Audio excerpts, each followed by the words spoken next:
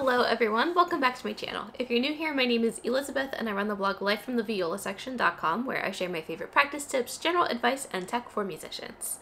Today I taught a lesson at a local high school, so I just kind of wanted to share you share with you what I have in my bag that I take with me teaching or to gigs, things like that. It's been a while since I've really done these things because of COVID, but thought it'd be fun. So just get right into it. This bag is, I think from Lands' End, maybe. It's it's a boat bag. It was a gift from my grandma and it has my name on it. Yay!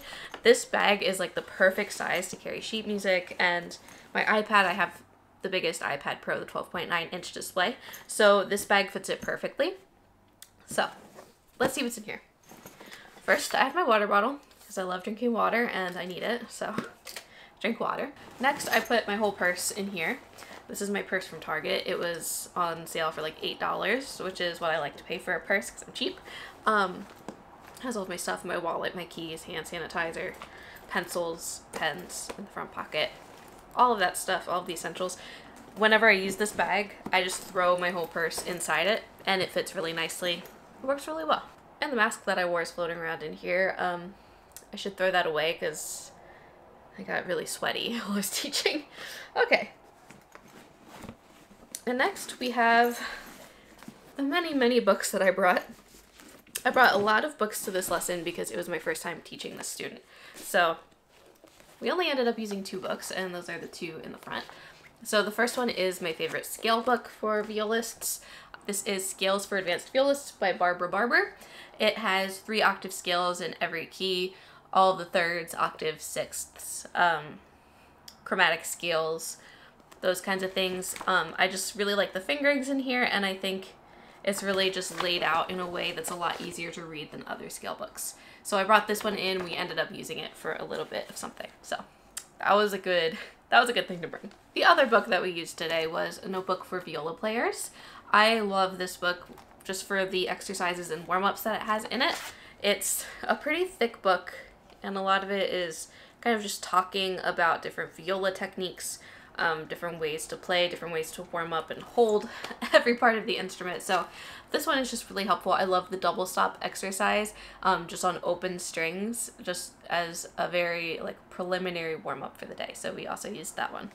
I'll show you through the other books that I brought today. I had no idea um, what we would work on or what level the student was at. So I brought both third and fifth position and second and fourth position. Sometimes I switch between these and into the positions. But I figured I'd just bring the two of these today just in case we needed to practice some shifting. I also brought Solos for Young Violists by Barbara Barber. This is a great series of books for violinists and violists. They make them for both instruments and there are five volumes for viola, six volumes for violin. This is volume two, and I played through this one when I was in high school. It has some great rep in it. Um, I think most notable would be the Bohm Serenade. Balm? Bohm? Balm? I, I don't know. Um, yeah, probably the most notable one in here. So this one is great for high school violists mostly for like an intermediate level. I also brought 15 most popular classical melodies. I don't remember if I ever really played anything in this book as a student.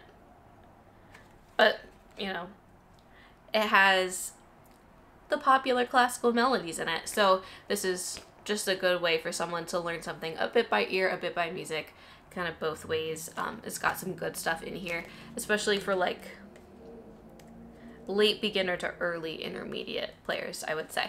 So I just wanted to bring a range of books and materials because I didn't know quite what the student would need or what to do today.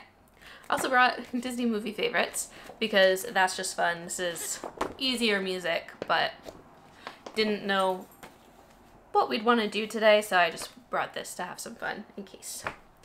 And then I also brought string festival solos. It's not like amazing, but it's got some good intermediate to advanced viola pieces in there. I'm not really sure if it's like viola rep.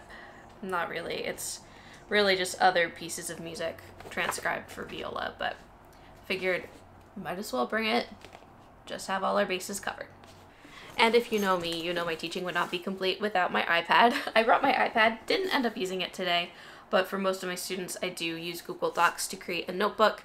I send PDFs to students. I, I have so, so much music backed up on here. If we would um, want to play a piece out of a Suzuki book, I would have just pulled it up on here because I have them all on here.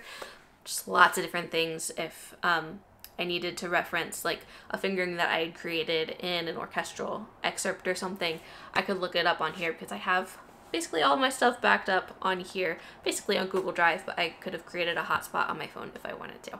And the last thing I brought today was just like a little goodie bag. I don't have any more drawstring bags, so I'll just show you individually what I put in here. So the first thing is from Alto Clef Gifts. It's a little business card that says, what's a viola? It's perfect for viola students who get pestered by their friends um, asking like, what's in your case? How's it different from the violin again? How do you play it? This is a fun little thing to give out. And then I also included a business card. I'll show you the back of the business card because that has things that you can see on it. And the front of it basically looks like that. Just covering up my phone number. Don't really want to give that out on the internet. And then last thing I included was a new sticker that I just received, or that I ordered. Um, this is my logo with my little username on the bottom so that people can find me. And the student said that she would put it on her binder. I'm super excited. So that was everything in my bag this time around, at least for teaching. This was just an introductory lesson and we ended up working on a lot of orchestral and chamber music that she had already been working on. So we only needed a few of my um, books to reference for like technique and exercises. So that's how that went. I'm super, super excited. It was a great, great lesson. So that's what I have in my bag. Again, here's the bag. I really should wash it. It's been a while and you don't want to see the inside. So it's the perfect size for iPads and sheet music. Um, it also carries a water bottle really nicely and it zips, which I zipped it up this morning because it was raining and it was gross outside. So it protected my iPad and my music like that. It was all great. If you like this video, please give it a thumbs up and consider subscribing to my channel. I post new videos every Sunday at noon Eastern time, and next week I'll be back with a tech-based video. Thanks for watching and have a great week.